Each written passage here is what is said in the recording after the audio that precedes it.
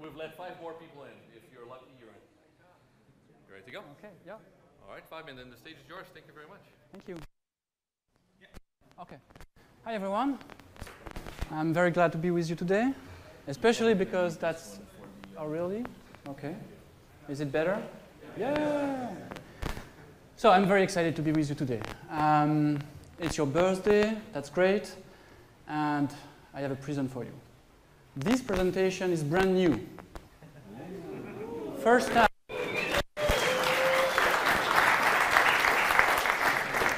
Which means it is full of bugs. right? um, I wanted to do something very special here. Um, you know, I've been traveling the world uh, trying to talk about Symfony, and, and at some point I have talked to people, real ones, uh, with real questions. And some questions come over and over again.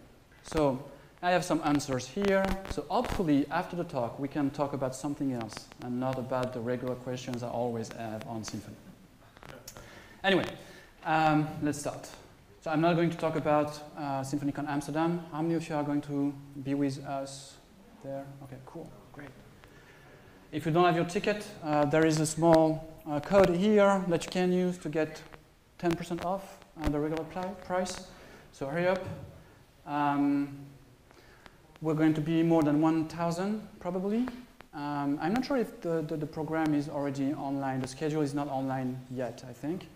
Um, but I can tell you that we already have more than 600 people. Uh, yeah, that, that's huge. It's going to be really huge. Okay.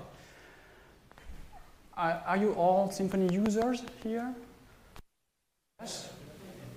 Okay. How many Laravel users do we have tonight? Okay. Okay, why not? Why, why not? Why not? Why not? Why not? I think they're here because they know they need to use Symfony at some point. okay, so uh, how many of you are still using Symfony 1? Any version? One person. Symfony 2? I mean, actively maintaining a project in production, right? Symfony 3? Symfony 4? Symfony 5? okay. Okay. What is Symfony 4? And that, that's, that's the very first question I want to talk about because um, there's a big difference between uh, what we have been doing with Symfony 3 and Symfony 4 versus what we had between Symfony 1 and Symfony 2, right? Big backward compatible changes between Symfony 1 and Symfony 2. That's not the case anymore. We can't break backward compatibility. Not really in the sense that if we don't have a migration path from one version to the next, one major version to the next, we don't break backward compatibility. So it means that if you have a Symfony 3.4 application without any deprecation, you should be able to migrate to Symfony 4 easily without changing anything. That's the plan, at least, right? But the thing is, if it is not the case, then it means that we have a bug somehow, right? Um, but Symfony 4 is so Symfony 4 is not really about new features because we are not adding any new features in new major version. We are only adding add, we are only adding new features into minor version, right? So Symfony 5 is the same as Symfony 3 plus all the new features that we added uh, in Symfony 4.1, 4.2, 4.3, and 4.4. The big thing in Symfony 4 is the developer experience. It's totally different. And we're trying to improve it uh, by the day. And that's something I want to talk about. And that's also why we decided to um, um, stop maintaining Silex, because now you can use Symfony to develop prototypes, very small projects, and big ones with the same code base. And I think that that's very important. And that's something I'm, I'm going to talk a bit uh, today. So, if you are a reader of the Wired, the magazine, you know that, that they have a section Wired and Tired. And I'm going to do that for, for a, a small few things. So the first one is don't use Assetic anymore. Right? You don't need to use it uh, because there are better things, more standard, uh, like Webpack. And if you are using Symfony, you can use Symfony Encore which makes the experience of using Webpack more Symfony-ish, something like that. Um, the second one is don't use the PHP built-in server. Um, it's built in, so if you have PHP, you do have the web server. Uh, the thing is, it has many limitations, and when you are developing even on your laptop locally, uh, it's better to use something more um, with more features. And um, we developed, actually, I developed a local web server a year ago. Uh, it's been available for a few months now. And um, how many of you have already tried to use the Symfony local web server? Okay, not that many of you. Okay. So cool. So uh, it's like any web server out there, really. So you download a Symfony CLI tool, um, and then you have server start, minus D to go to the background. Uh, we have a few commands, and a few things that are really cool. So the first one is Symfony server log. If you're not using um, uh, the Symfony uh, web server, you, have, you are probably using Nginx plus PHP FPM, which means that you have a log file for your web server, for PHP, for your application, the Symfony application, and also probably for your uh, background commands. The Symfony server log aggregates everything into one um, command, so you have all the logs at, in, in one place. But it's much more than that. So the first thing is it, it, uses PHP FPM. If it is available on your laptop, if it's not available, it falls back to FastCGI or PHP minus S if uh, that's the only thing that you have, which means that you have request. And sometimes that's nice. Um, we also have support for HTTP2, TLS, local domain names, no dependencies, so it's not written in PHP, it's written in Go, which means that you have one binary that you can download. It works on any um, version of your Mac, uh, Windows, or Linux. It can manage the background commands for you. So, and that's very important because nowadays with Symfony 4, you probably have some long-running commands uh, like uh, consume messages or running Encore in a development um, web server. Okay, so I talked about uh, the logs. Uh, we also have integration. I'm going to talk about that. Uh, it's really nice. Of course, integration with Symfony Cloud. And we do support multiple versions of PHP. So we detect all the version that you have on your machine, and you can switch, depending on the project, uh, you can switch from one version to the next. So you can use PHP 7.2 for one project and PHP 5.6 for an old project that you still need to maintain. It works for any PHP project. So even if you're not using Symfony, if you're using Laravel or whatever, you can also use, or plain PHP or plain HTML, you can also use the web server for that. And a few more things. Okay, so you can download it on symfony.com slash download, um, easy enough. And that's also, so the Symfony CLI is a local web server, but it's much more than that. So the first thing you can use well is if you want to create a new project, you can use Symfony new and the name of the directory you want to create your project in. Here, demo.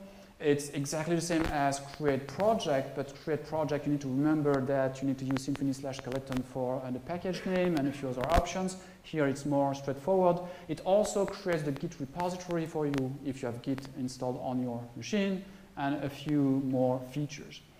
Uh, and some of them here, uh, so by default, we don't uh, output anything. If you have a problem, you can use minus minus debug. You can use minus minus cloud if you want to deploy to Symfony Cloud. And if you want to try Symfony 5, why not? You can use version dev master. Um, okay, so the Symfony CLI is also a replacement for the Sensiolab security checker. Please, please, please, stop using the Symfony security checker. Why? Because I'm paying for the server, and I can tell you that the traffic is huge, really huge.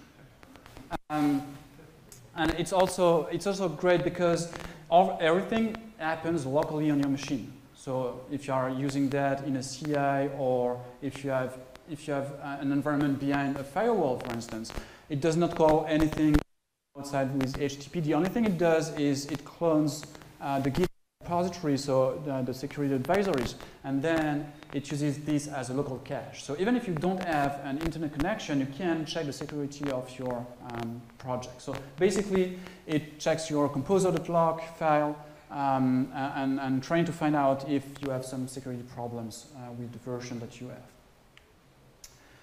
Okay, don't use Symfony slash Symfony anymore. Symfony slash Symfony is not something you need to use it, it is not compatible with Symfony 4 if you are using Symfony Flex anyway. Um, and that, that's a great thing. Why is it? I think I have a slide about that. Um, yeah. So first, first thing, oh, okay. Okay. Um, so when we create a new project with Symfony 2 and Symfony 3 uh, using the Symfony Standard Edition, that's all the packages that you get, right? A lot of them. Most of them comes from Symfony, but a few of them comes from third-party um, developers like PHP Unit um, and Doctrine. And here it, it says 11, right?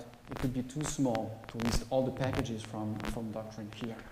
So it's a, it's a lot of dependencies that you get when you create a new project. And probably some dependencies that you will not use. Here you have all the components from Symfony 2 and Symfony 3, everything that comes with Symfony slash Symfony, So even if you're not using, I don't know, whatever, the form component of Symfony, you have it. Not really a problem, just a few files in your vendor directory. But it also means that by default, the form subsystem is enabled, which means that you have a performance impact just because you have all the dependencies. So you need to manually disable the form subsystem if you're not using it. So you need to take care of that, uh, which is not nice. Okay, 4, it's much better. Uh, we only have, when you create a new project with Symfony 4 using the Symfony skeleton, uh, you only have uh, those dependencies. So something like 15 different um, packages. Right? It's really nice. That's all about the low-level uh, architecture of the website anyway. So we have some polyfills. Uh, we have uh, YAML to read configuration files, framework bundle because that's the glue between um, all the components. Uh, the routing subsystem makes sense and things like that. Much better. The great consequence of that is that when you create, so that's the form again. So I create a new uh, demo project the bare minimum dependencies are installed, which means that the form are, are disabled because I don't have the Symfony form uh, dependency. If you require the form um, component, then all of a sudden Symfony knows that you have the form dependency, so it can enable it automatically for you. So you don't need to take care of that. You always have the best performance possible just because we can detect which component you're going to use in your project, right? Okay. The great thing, oh, okay, so if you're not familiar with uh, Symfony 4 and Symfony Flex, so Symfony Flex is basically a composer plugin that helps with managing the dependencies on your project. So basically, when you are saying composer require form, exactly the same as Symfony slash form. So we have aliases, so you can also require uh, template or, or, or uh, ORM or admin or API, going to figure out which packages to actually install. That's very important because remember, we don't have all the Symfony components, so you need to install everything by hand. So for instance, if you want to debug your application, you probably want the profiler uh, bundle, you probably want the Monolog bundle and a few other things. So we have aliases um, and that helps. So if you require profiler or test or debug, it's to install a bunch of things. Okay. Uh, and the great thing also is that when you require form, everything is auto-configured for you. So there is no configuration, no manual changes in YAML file, whatever, in the form subsystem directly. Uh, I, I get this one uh, a lot. So in Symfony 2 and Symfony 3, we have this concept of bundles. Bundles coming from um, outside developers, open source bundles that you can use to uh, add more features on your project, but also application bundles right? So when you create a project, you can, or you need, or you must, or you have to create uh, a bundle for your own code. Um, that's kind of confusing, really. Also because people uh, thought that it was a good idea to actually create many different bundles depending on the features, so one bundle per feature, which is really not something that you want to do you need to create a bundle if it is totally independent from all the other bundles. If all your bundles depend on, on each other, they are not reusable, or a, bun a bundle should be reusable. So in Symfony 4, we decided to stop using bundles, but only for your application. Of course, we also we have bundles for open source project that you can bring into your um, project, um, but for your own code, that's not the case anymore. So basically, the source directory is really about your code. And that's something that is really interesting in Symfony 4. Everything in your project directory is your code. And there is no Symfony anywhere. So we have a template directory, that's for your templates, no Symfony there. Source, your business logic, no Symfony there. Um, assets, only your assets managed by Webpack, no Symfony there. Um, and so it means also that see the namespace over there, it's app controller. There is no Symfony. So the default namespace is app, that's your code. Okay, which is nice, which also means that we have less subdirectories. We have source controller directly, we don't have source and then uh, Symfony or Sensio Labs or your company name slash uh, bundle slash controller whatever. It's much easier to navigate in your uh, project uh, directory structure. Okay, that's another one I have a lot. Uh, should I use environment variables or class constants or parameters? So the first thing you need to know is, okay, so at Christmas you have presents, right? And you have a new toy and you want to play with it a lot. That happens with developers as well. We give them environment variables and they want to do everything with environment variables. Please don't. Um, so I have a small table to help you with uh, that. Yeah, it's kind of complex. Uh, so you can still use parameters. Totally possible. Environment variable, basically you need an environment variable when you want to configure the infrastructure. So a database password, for instance, that makes sense. Something that you don't want to commit into your Git repository, that makes sense. Something that you want to change without redeploying your project, yes. But the number of blog posts that you need to display on your screen, no, that's not an environment variable. You don't need to change it without redeploying, without, that's, that's something you, you can have as a class constant, for instance. Um, okay. Everybody has a picture of that? yes? Okay. Service configuration, and that's something, you know, people kept talking about how Symfony is a lot about changing configuration, configuring your services, configuring the routing and things like that. That's a thing of the past, not in Symfony 4.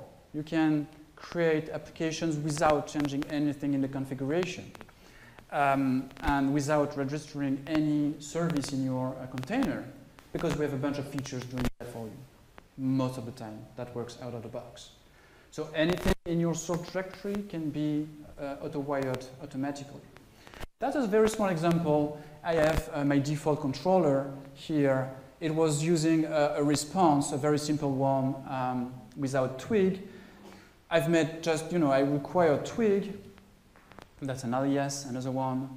And I've changed uh, my controller like that. So that the controller is defined nowhere. The controller is now a service, which means that you can inject anything. So here I'm just saying, okay, I want a twig environment. Symfony, do whatever you want. I want a twig environment. That's your job. And then I can render uh, a template, and the template, as you can see at the bottom of the screen, is under the templates directory. Very simple. Um, so I don't need any configuration. Everything is auto-wired. And that's, that's a great developer experience, really. Whenever you need something, you can type in your dependency, and Symfony is going to do um, whatever it takes to actually uh, inject uh, something uh, that is relevant to you. Which means that your productivity is really much better, and you can take your time implementing the business logic that you need for your project. So most of the time, you don't need to define your service. Uh, it's done uh, for you. Okay. Now, Symfony Flex and, and the way we actually manage dependencies is great. Auto configuration of the container is great. But how do you get started? How do you create your first classes when you create a project, a new, brand new project? The answer is the maker bundle. It's huge. It's much better than the generator bundle that we had in Symfony 2 and Symfony 3 for one big reason.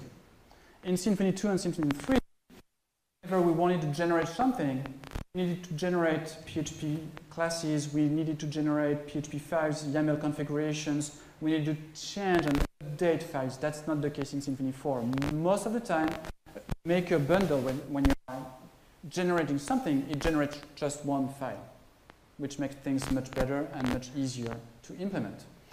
That's the number of things that you can do uh, with the Symfony Maker bundle.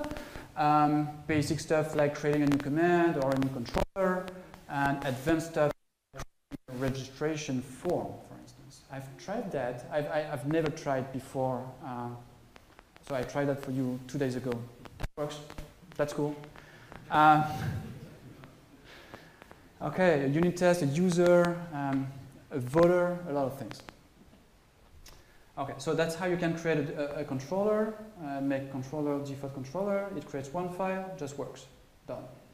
And we have opinionated um, choices baked in the maker bundle. So that's the file that is generated by uh, the command. As you can see, we are using annotations because we think that it's way better to have everything in one file instead of different files, which makes also much easier for us to generate the file, of course. Um, tell me you're not lazy. Um, and okay, and here, as you can see, we are returning JSON because I don't have Twig. But if I require Twig and then generate a new controller, it's going to use Twig by default. So you have a, a few tweaks like that uh, in the Maker bundle. Now, I want to give you a concrete example of something that is much better with Symfony uh, version 4. Adding a twig extension. Okay. How many of you know exactly how to create a twig extension with Symfony 2 or Symfony 3 without reading the documentation and without Google? I can't. I can't. There are so many questions. So the first where do I need to store my Twig extension class? Is it under the source Twig directory or Twig extension? What is the best practice? First question. Then, which interface do I need to implement? Do you know the interface name? How many of you know the interface name? Or do we have an abstract class that we need to extend? Hmm, I don't remember. The answer is there is an abstract class. Um, which file do I need to change to register my new extension in the service container? And if it is an extension, it needs to be registered on Twig, so it means that I need to add a tag. Do you know the syntax to add a tag in YAML? I don't. No, I mean, I know now, because, you know, I, have I've that's an old slide, so I know now. Because that's an array first, and then you can add, and then you have a hash when you have um, the tag name, but I don't remember the tag name, and then you can have more um, parameters there. Okay, so at some point, I'm, I'm, sure that a bunch of you have done exactly that. You say, ah, that's complex. Let's do everything in the controller. It's going to be fine, right? No, it's not. So, you know, some people are going to tell you that I'm talking about best practices. Okay, small parenthesis here. I don't like best practices or good practices or whatever because they really depend on a lot of different factors. Laravel best practices, not the same as Symfony best, best practices, right? I'm not saying they are better or worse, just different. And depending on, no, I mean, even depending on the skills of your developers, the best practices are going to be different. Depending on whether you are developing a very small website or a website that you need to maintain over a long period of time, the best practices are going to be different. So best practicing, best practices equal bullshit. anyway, so let's add a Twig extension. I'm going to use the maker bundle, make Twig extension. I have one file, done. No configuration to change, no question, nothing. I don't need Google, I don't need the documentation. The only thing is I need to implement the business logic I need to implement for my um, code, right? That's cool. The full automation is not just for Twig extension, it's for uh, a lot of different things. So it works for event listeners, doctrine entities, commands, voter, the registration form system, and, and, and much more than that. And we are adding more over time. So the registration for, from system is quite new, actually. Okay, don't use, don't use PHP. You know that, right? So the thing is, some people post comments on blog posts and on Twitter and, and things like that, social media, uh, saying, oh, I want to use PHP as a templating system with Symfony. Really? Nobody's doing that. And I, I can prove that nobody's do, doing that. Because during the last five years, we did not change anything in the PHP templating system of Symfony. Not a single thing. So, two possibilities here. The first one, no bugs. I know, I read the code. It's perfect. I'm not sure. Second reason, nobody is using it. And just, just, just an example, we have bootstrap support for Twig.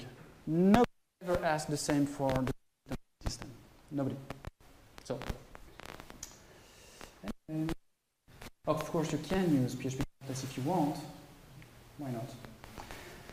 And that's brand new. In Symfony 4.3, we have the Symfony mailer component, and it's going to be a replacement for Swift mailer. Um, and, and the Symfony mailer component is much better than Swift mailer for many reasons. But the first one is that we are building Symfony mailer on top of all the good things of Symfony.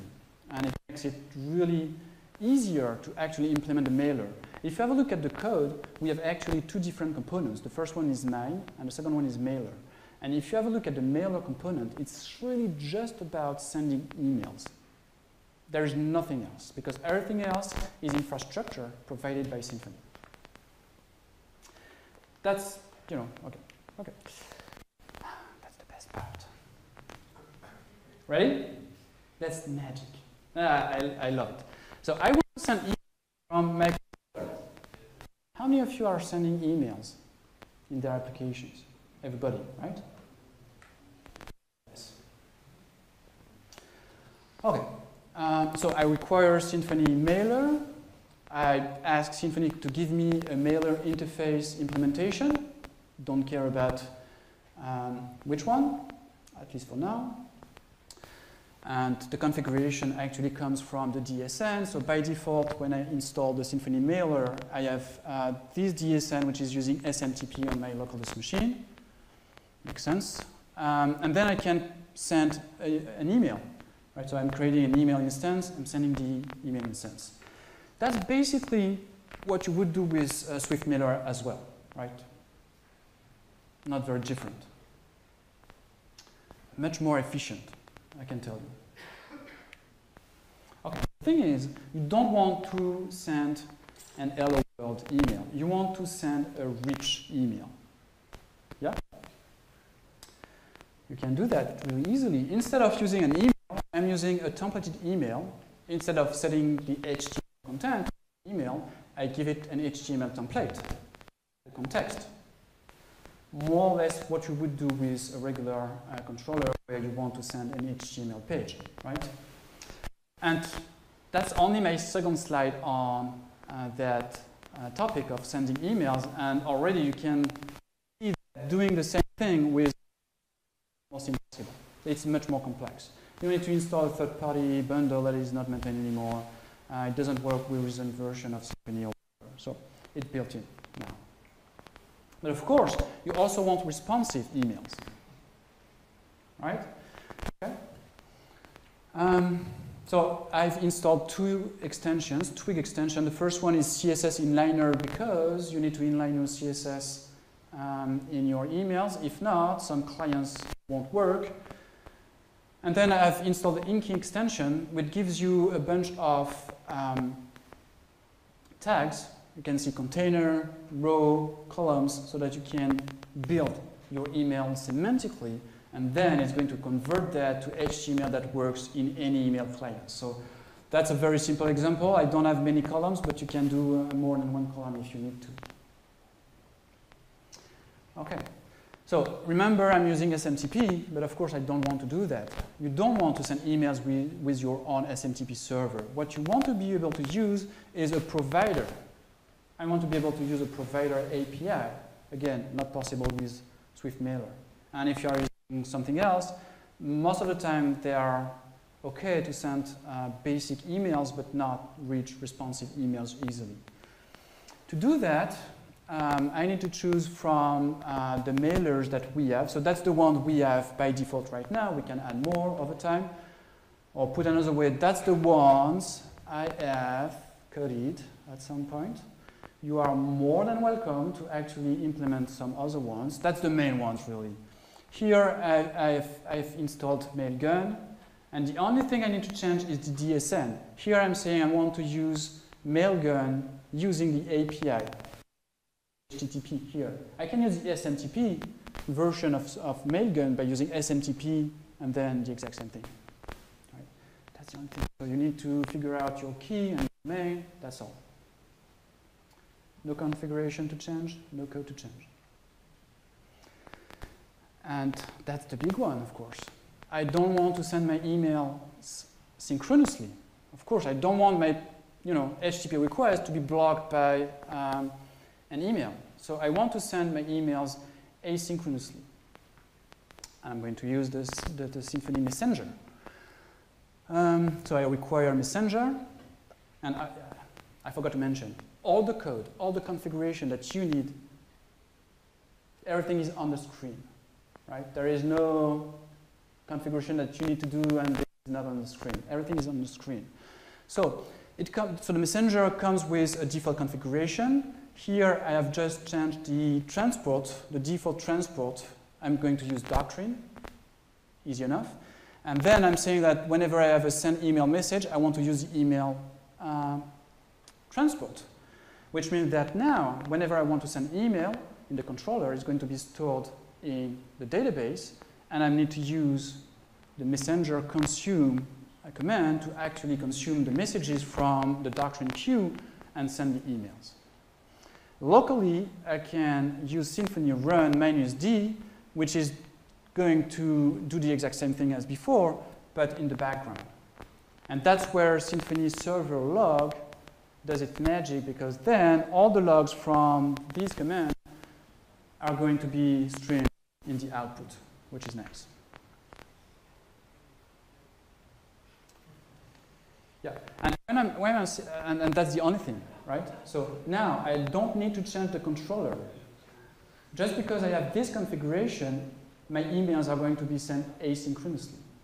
So, and that's a very nice thing of the messenger component. You don't need your code. That's only about the configuration. Um, okay, so that's about the logs. You can see if you say Symfony server status, then you have the web server, and you can see that it also um, it also manages the command that I have um, ran, ran in the background. Wow, that's already a lot. But you know, we, we've barely scratched the surface of what you can do. So you can do that with AMQP. I don't want to use Doctrine for that. That's not a queue, right? So I want to use AMQP or RabbitMQ here. How can I do it? Okay. I'm tired now. so, your turn. How much time do you think it would take for you to do everything on Symfony free? RabbitMQ. Hmm? By the heat death of universe? Yeah. I wouldn't try. Honestly, that's no, never ever. Okay. And here we have only used built-in components of Symfony. Or Twig, that's the same. So we want to use AMQP.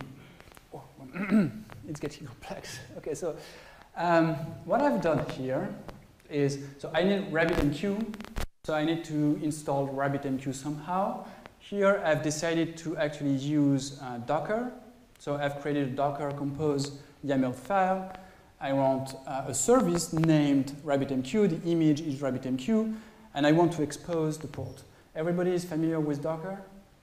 Yes? Yes? Yes? Yes! Okay. No? More. Okay, so this is the port of the container itself, not the port from the outside, right, from the locals. It's going to be random, which is cool because it means that I can work on different projects in parallel with different containers that are going to have different ports. Um, and, and so I can work on, on, on several projects in parallel without any problem. So, so that's the first thing. Then I run Composer up uh, in the background. And I'm going to change the transport DSN. I'm going to use a, an environment variable named rabbitmq underscore DSN. That's all, nothing more. The magic happens because I'm using the Symfony local web server. The Symfony local web server detects that you are using Docker. And if you have a look at the profiler, you can see uh, this small icon here, and Docker Compose is up. Then it knows that you are using RabbitMQ. The service name is RabbitMQ, so it exposes uh, an environment variable named RabbitMQ underscore DSN and a few other ones. Right? It does the exact same thing with uh, MySQL, PostgreSQL, Redis, um, and a few other ones. Right? So it's literally just about creating the Docker Compose and changing the environment variable there. That's all. Just works. Cool. Okay, I'm not done yet because, of course, at some point, uh, Mailgun is going to be down, right? It might have a problem, so I want to manage the failures somehow. First possibility, you can use another provider. So here I've um, installed SendGrid Mailer, and the DSN is use Mailgun, and if Mailgun is down, then use SendGrid. That works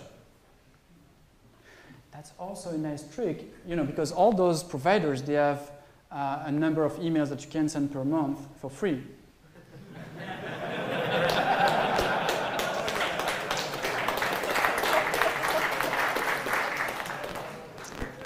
okay. The other possibility, and you can mix and match, is you can say, okay, for the email transport, I want a retry strategy. I want to retry three times. Okay, so it's going to try three times, and if it doesn't work, then it's going to discard the message, right? But I don't want, I want to have a look at the failed messages. So I create a failure transport, and the name of transport is failed, and here I'm going to use doctrine. I think it makes sense. If some, if some messages can't be sent, then I want something that is drugged. I want something in the database. And then I can use messenger failed show to show all uh, the failed messages, and I can retry manually, um, if that makes sense. That's the kind of output that you have. So you can see the message, you can see uh, the failed attempt to deliver the message, and a few other things. And if you are using minus VV, then you will have uh, the stack trace and everything you need to debug the problem. Ha ha. ha, ha. I don't want to use Docker. And actually, I'm not using Docker at all. Um, okay, so I don't want to use Docker. Or put another way, I want to use something that works also in the production environment. Right? How many of you are, using Docker in production? Okay, quite a lot. Okay, so it also works with uh, Symfony Cloud. So that's basically the same configuration that we had before with Docker, uh, with a few tweaks. So the first one is the services.yml file, which is almost the same as the Docker Compose. So I declare a RabbitMQ uh, service. I can configure it uh, somehow. Then I'm um, going to add it uh, to my uh, symfony.cloud.yml file. And here, this is you can create a worker, basically saying that I want to consume the emails. Symfony project init to create uh, uh, the templates for those files, and Symfony deploy. That's all. Everything is managed automatically for you. Um, and then you can, you can have the logs here, um, which is going to be the logs of the uh, consumer. And that's production ready. You don't need to manage anything. Uh, we are doing that for you. The great thing about that is that um, so you have deployed your project on Symfony Cloud, and you have a bunch of branches. Right? one per. And the great thing about Symfony Cloud is that we are actually uh, duplicating all your services with the data. So you have your server in production, and you have uh, a PostgreSQL database, for instance. You have a bunch of data in there, and you have a bunch of images on your um, local file system and things like that. When you create a new branch, we deploy a new environment, which is the exact same thing as uh, the environment that you have in production, including the data, which means that you can almost debug like you were in production. Right? If you, have, if you are old like me, back in the days, we were using FTP to debug things directly on the production servers. That's the same feeling. But the great thing is that, so you create a branch, um, and then you can open a tunnel. And opening a tunnel means that all the services that you have uh, in the cloud are accessible locally. And of course, the Symfony local web server is aware of that. So you can see here that the tunnel is open, which means that we have the same trick as with Docker, which means that you can use RabbitMQ underscore DSN. It's going to be the DSN of your RabbitMQ server for the branch you are currently in, in the cloud. Right? That also works for PostgreSQL, which means that you can test things locally on your machine with the production database, with the data from your production environment, which is really nice if you want and if you need to debug uh, uh, edge cases or, or bugs. That's the new Symfony experience. Um, and that's possible because of a lot of things, uh, a bunch of new components. So I've talked about the mailer, but the mailer depends on the messenger, depends on HTTP client to do the, the provider APIs um, calls, on the, the auto configuration for the container, um, the env environment variables, it uses Flex, and a few tools like Docker and Symfony CLI and things like that. So it took some time because it means, you know, we needed a bunch of things, of different tools and building blocks to be able to actually develop this new uh, Symfony experience. So it took us a few years to get there. But I think it's, it's very, very interesting and, and, and, and, and the productivity is really much better than what you had before. Blah, blah, marketing something. Um, uh, how many of you were not aware of everything I've talked about? or thought that Symfony 3 was Symfony 4 was almost the same experience as Symfony 3. Put another way, have you learned something tonight? Okay, cool. What about the future? Never ever ask for new features in Symfony 5. Whoa, that doesn't make any sense, right? Ask for what are we going to have as new features in Symfony 4.4? Yes, I can talk about that. So Symfony 5 is, just so that you really understand everything, Symfony 5 is the exact same thing as Symfony 4.4 minus all the duplicated features. That's all. Um, and probably a bump in uh, the PHP dependency, the minimum version. The first one. This one is great because more and more people are using Symfony to create APIs. They don't care about Twig. If you don't care about Twig, why not? Uh, you have a problem right now because all the great error messages are done with Twig, which means that you need to install Twig just for the HTTP errors. Right? If you want to have an XML HTTP error or a JSON one, you need Twig, which is not really nice. It's something that we are working on. It's not merged yet, but it's going to be merged for Symfony 4.4, uh, which means that with Symfony 4.4, we we are going to have HTTP errors depending on the format that you have without using Twig. The second one is Symfony, um, the PHP 7.4 preload support. Yeah? Performance for free. That's always nice.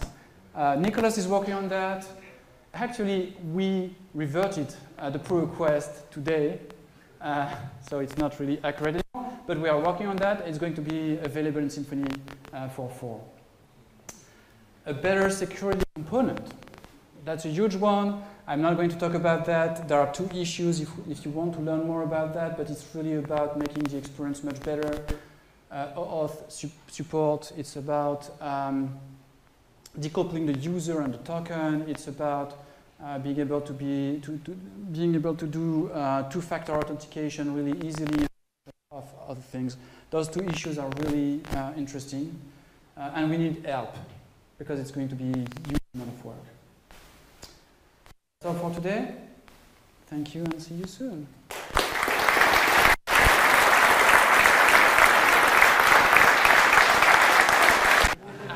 Um, that, that's a great question, and I have, all, I have it all the time. I totally forgot about that. So the local web server is called local web server, local like local host, like your local machine, lo- local server. yeah? It's not production ready. It will never be. It's totally different. Uh, the local web server is optimized for your development experience. It is not optimized for performance. Far from it. There are many shortcuts. Um, so I would not recommend you to use it in production. Never, ever. Any more questions or like 50 questions? There is one over there. Okay, I'm going to. I guess I still need to use this, right? Yeah.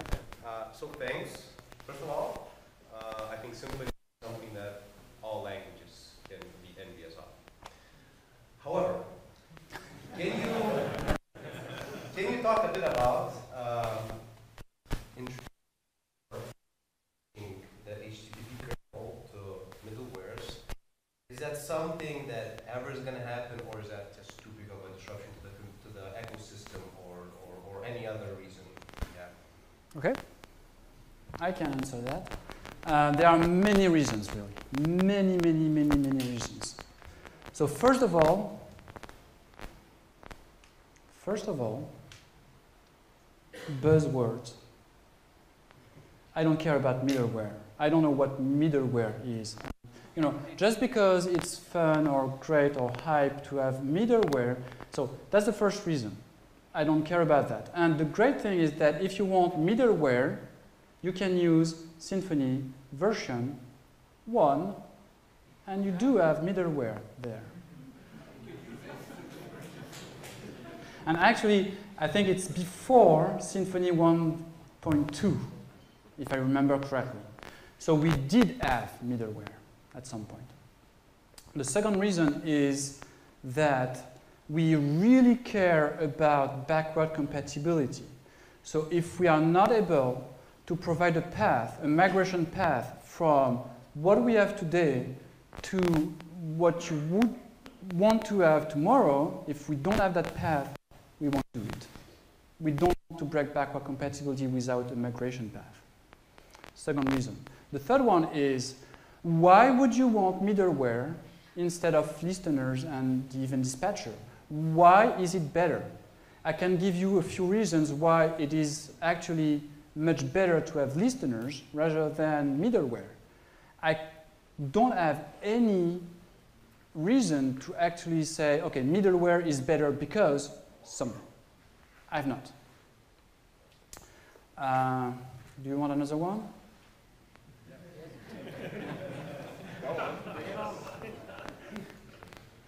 Backward compatibility. I mean, that's the big one. That's really the big one. So uh, congrats on the Maker bundle uh, with Symfony 4. It was a breath of fresh air. So um, kind of, uh, what are like long, long-term plans for it? Because uh, like if you have been uh, watching the Symfony Slack, there are a lot of talk about data transfer objects and their usage and all that. And you of still have to model your way through. So is it something that might be help with the maker bundle to make it network a easier? Okay, so the maker bundle evolves because people actually contribute something there.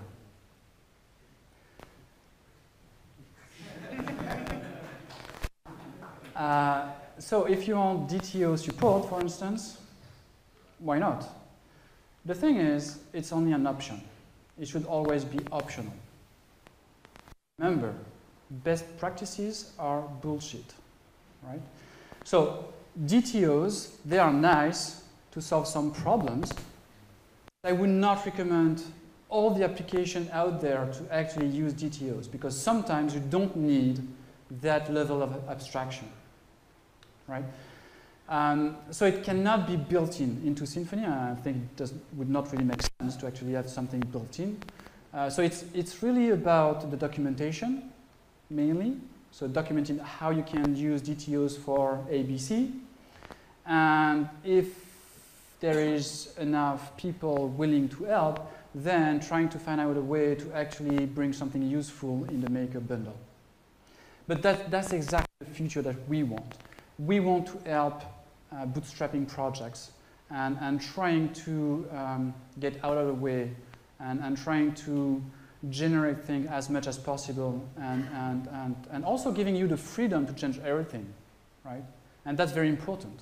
So when you are using Symfony Flex, you don't need to configure anything. We are using Flex and auto configuration, auto wiring and things. You don't need to configure anything. But that's, at any point in time, if you want to fall back to do something manual, you can. You can disable all the magic, all the things that are done automatically, and then write something that works for you. That's also possible.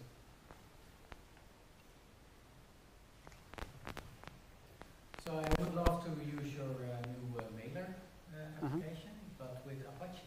What now? What? With Apache. So no local uh, web server, no uh, cloud, Oh, you can. just Apache. How would the, the, the configuration that you just shown uh, be changed? So if, if you want to use AMQP, for instance, to send emails, you would have to. No, the whole environment. What do you mean, the whole environment? So the examples were shown with uh, the local web server running, and then you say that uh, if you use the, for instance, the cloud, uh, then the uh, all the environment uh, variables will automatically be set Yeah. up. But if you just use a normal um, uh, Apache server, So like a, your, Yeah. your own deployment. yeah, yeah. Okay, so the question is, it doesn't want to use Symfony Cloud.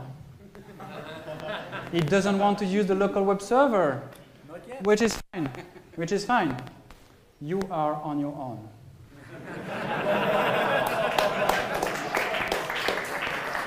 no, I mean, I mean, I can't do the magic if you are not using the tools. But basically, everything I've talked about, you can you, you can do the same with um, any web server. So you can use Apache or Nginx, no problem. The only thing is then you need to manage the Docker environment yourself, which means that you need to create the environment variables somehow. That's all. Right? That's all. That's the only difference. That's a big one. You had a question.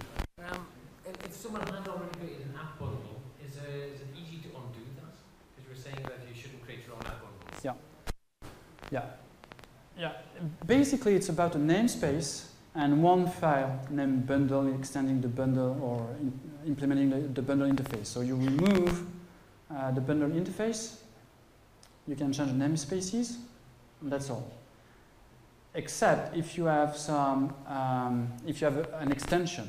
So if you have some semantic configuration, then you need to register that. But most of the time, people don't have that. So should be relatively easy. Yeah. Uh, Okay, so, so three questions in one.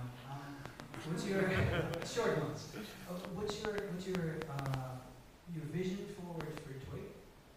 Um, why do you stress there's a difference between Symfony projects and Twig? And how to contribute to this vision? okay.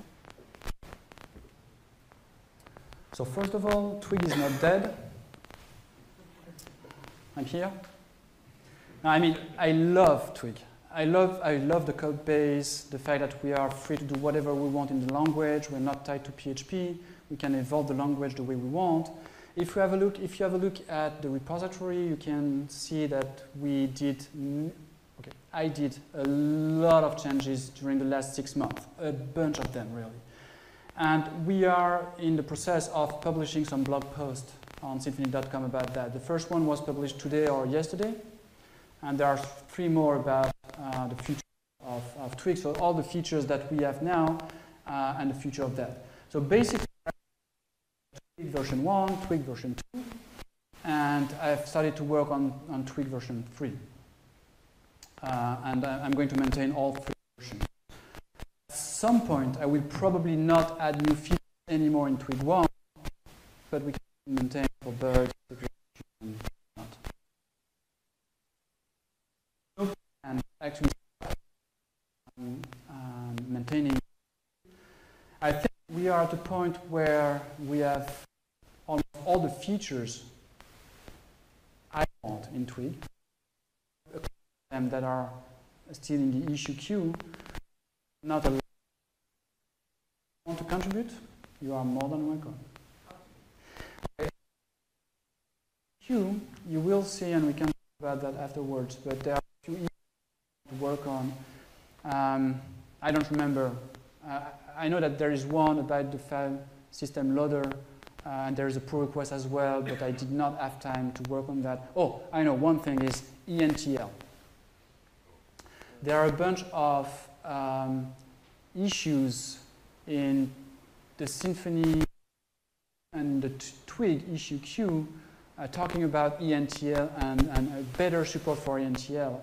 And I think that now that we have a very strong support um, in Symfony and the Symfony components, and now all users of Twig need to use Composer, which was not the case two years ago, we can add more dependencies.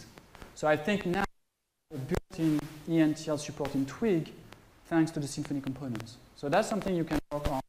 If you're interested in doing that or anyone here, send me an email because I have a bunch of issues and pull requests, some references that you can understand um, all the, the ideas from other people on this topic. And there are a couple of them uh, in, in the issue queue as well. Yeah, so it's not dead. And also because when you are sending emails, you need to use Twig. So just makes sense. I'm very happy because now I have one feature that you can't switch to JavaScript.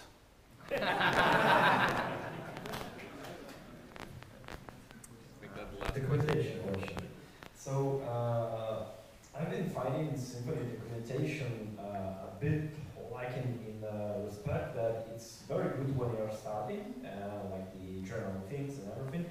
But as a developer who's been like years and years at this point, uh, I'm starting to hit a wall where I basically need to read the code on a, on a bit more advanced usage of uh, some of the components and things. Yeah. So I'm wondering if there is a plan to maybe tackle the documentation and make it uh, better?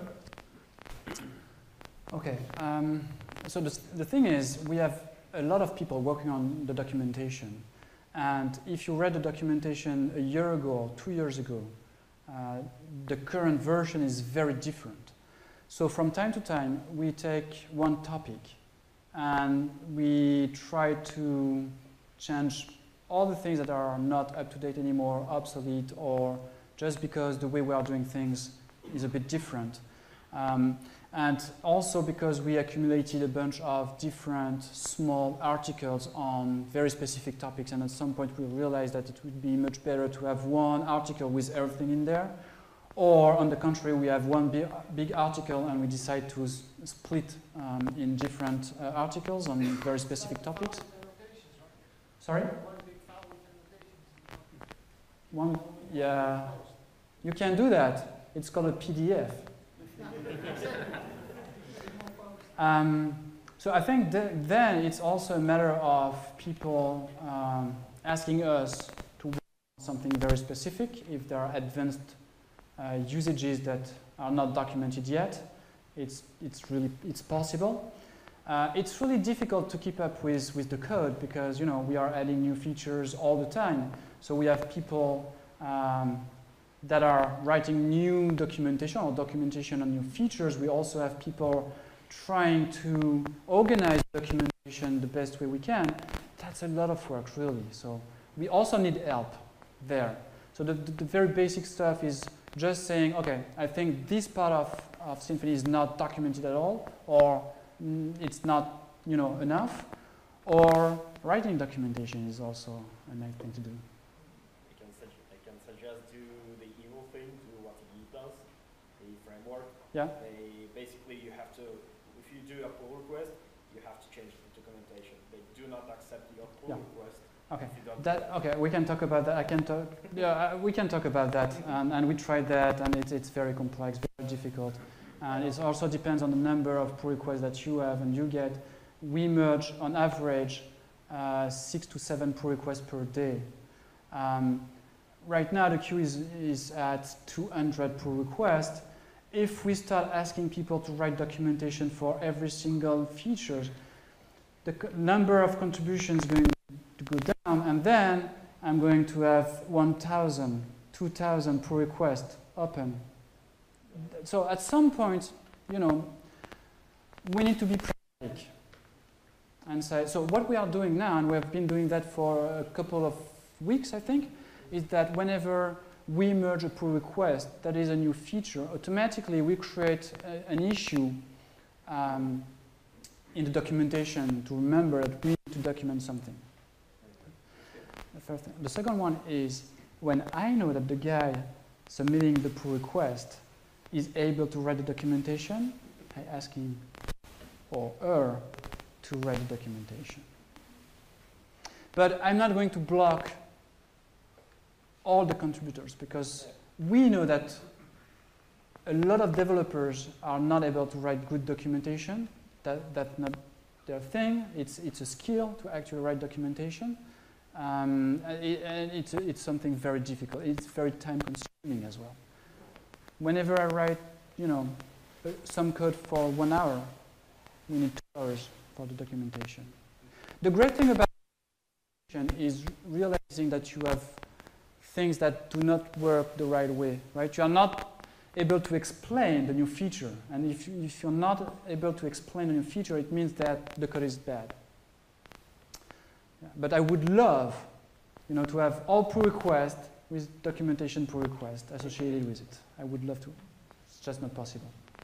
With the documentation having the like pull requests to update uh, documentation from the community as a separate stream apart from the pull request of code.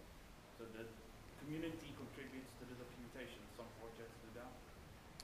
You mean two different repositories, depending on the kind of documentation? Open sourcing the documentation section of the site. It is. it is open source. so the, the community can documentation. So if you Yeah, find sure. out as a person, as a developer, okay, this documentation is not up to spec for me, and I found out this advanced usage now. We have we have we have a documentation team, and it's open. And, and, and if you have a look, we have hundreds of people contributing to the documentation. So we slash docs. yeah. So it's Symfony slash Symfony dash docs. One more? Last one. Last one. Scream. Yes. So usually when, when you have a platform, you want to make your production similar to your staging, similar to your local development, right? Yeah. That's why Docker is really nice. Yeah. You have your wall, your, when you have your local uh, Symfony web server, how do you make the same environment in production? Because it doesn't work in production. Do you guys have like a Yeah. same setup for Docker, like put it on Docker? That's the very last question, really. So you want me to talk about Docker? Really? so first of all, are you be sure that the configuration that you have in Docker that works today is going to work in the exact same way in six months from now? Is it replicable? I, I don't think so. No, I mean, just you, you, you, you clone your repository with your Docker files. You run Docker, and I'm pretty sure that you are going to have something different from the production that you deployed uh, six months ago. Hmm? Yeah? But I'm pretty sure that most of you have problem, which means that you don't have the exact same thing. Far from it. But anyway, that's another topic. So that's a very good question, actually. Uh, so the thing is, so we have uh, support for Docker, which means that you, uh, you can have all the services as Docker um, containers, everything but the PHP environment. And I really like that because it is really fast to develop that way. I have PHP locally on my machine, the web server is local.